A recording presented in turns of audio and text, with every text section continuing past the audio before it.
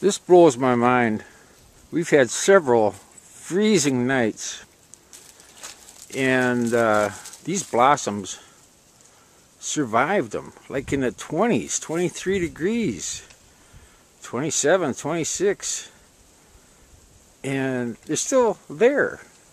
They're not froze. I don't understand it.